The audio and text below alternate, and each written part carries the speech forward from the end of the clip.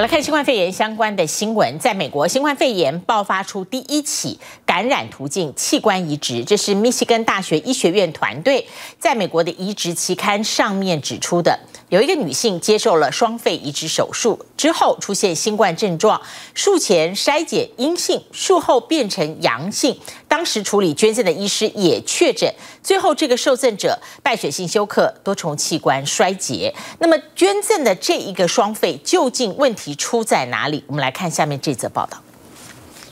二零二零年，美国将近四万件器官移植手术中，来自密西根患有慢性阻塞性肺炎的女子接受车祸捐赠者的双肺，术后三天却出现发烧、低血压、呼吸困难等症状，重新进行肺炎筛检，居然从术前的阴性转为阳性，成为美国第一个因为器官移植而确诊的案例。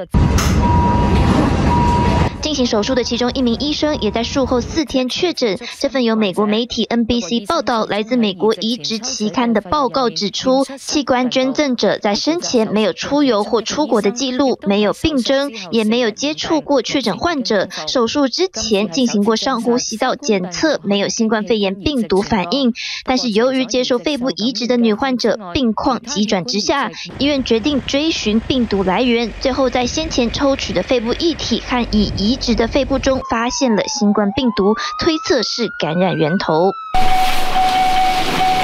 肺部的捐赠者可能是无症状感染，鼻、咽喉的采样都呈阴性，而没有及时发现隐匿的病毒。最后接受移植的患者在术后两个月不幸离世。值得注意的是，器官移植传染并不常见，几率低于百分之一。移植其他器官会不会也有被传染的可能？目前还有待查证。至于美国疫情，有专家认为，随着疫苗接种计划开跑，而曾经感染后康复者会有抗体，看好未来。来确诊人数下降，美国有望在四月份回归正常生活。不过有另外一派说法是不要太乐观。With new variants recently being discovered by health officials, wearing masks continues to be an essential factor in curbing the spread of the virus. 美国首席医疗顾问佛西则认为，美国要能摆脱疫情的阴霾，现在还说不准。从二零一九年以来，病毒已经夺走将近五十万美国人的性命，感染超过两千八百万人，再加上变种病毒捉摸不定，就算日后慢慢放宽防疫限制，口罩可能还是要持续戴到二零二二年。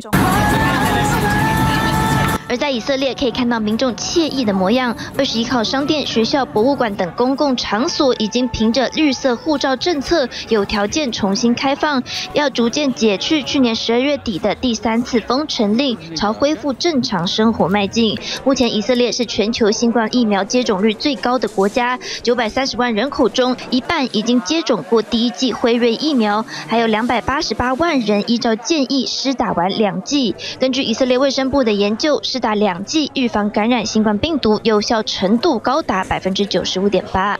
I'm happy to be finally back. I'm happy we got the vaccines here so quickly. We got both, so I have the green passport. And we can start to work out again. And let's hope it will stay like this and we don't go back to the way it was before. 以色列的目标是持续让十六岁以上所有人都完成疫苗接种，因为拥有全球顶尖医疗系统和资料库，透过支付更高的价格，还有和辉瑞达成分享资料协议，确保可以获得大量疫苗的优势。纽西兰也在抗疫迈进了一大步，二十号启动辉瑞疫苗接种计划。因为纽西兰的感染者主要来自境外，做法和其他国家稍有不同。除了一小群医护人员，主要由边境官员和检疫与防疫旅馆人员开始施打。全国约五百万人口的接种计划则预计花一年完成。澳洲总理莫里森二十一号在澳洲接种计划开跑的第一天，带头施打辉瑞第一剂疫苗，借此向国民宣示对疫苗和对抗病毒信心十足。澳洲也已经连续三天没有新增本土病例，估计三月前会有四百万人自愿接种，计划十月以前替两千五百万澳洲人接种阿斯特捷利康疫苗。马来西亚也在二十一号迎来第一批约三十一万两千剂的辉瑞疫苗。因为经济受到封锁政策的打击，二零二零年创下近二十年来衰退新低。大马政府计划一年内为三千两百万民众至少八成以上施打。接种计划不止保卫人民健康，更是重振大马经济的象征。Vaccine equity is not just the right thing to do, it's also the smart thing to do.